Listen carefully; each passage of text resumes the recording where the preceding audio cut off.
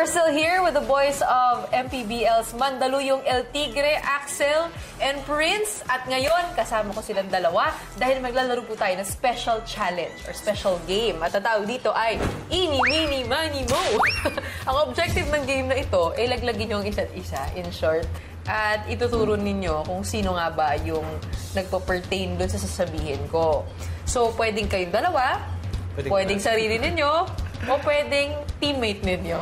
Pwede pala, di- huwag na tayo maglaglagan.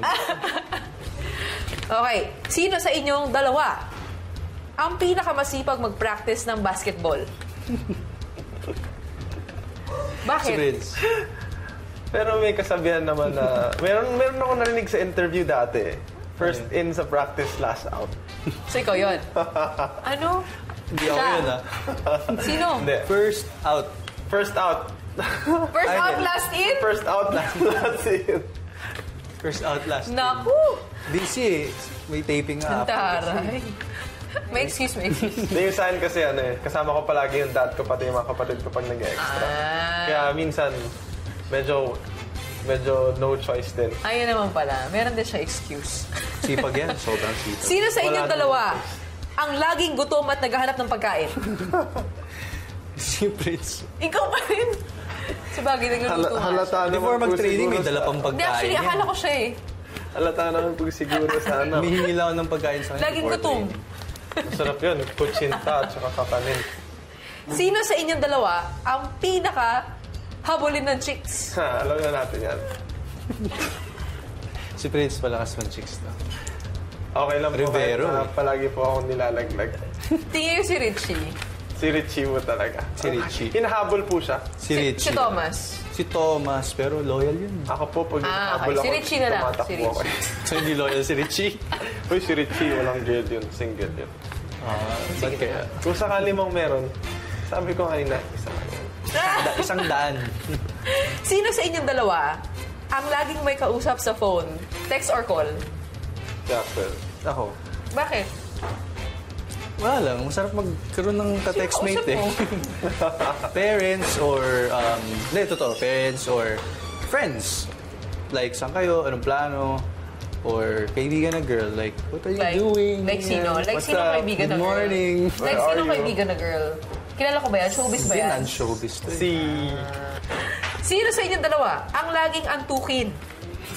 Feeling ko ako. Eto. Sino sa inyong dalawa ang pinaka-gimikero?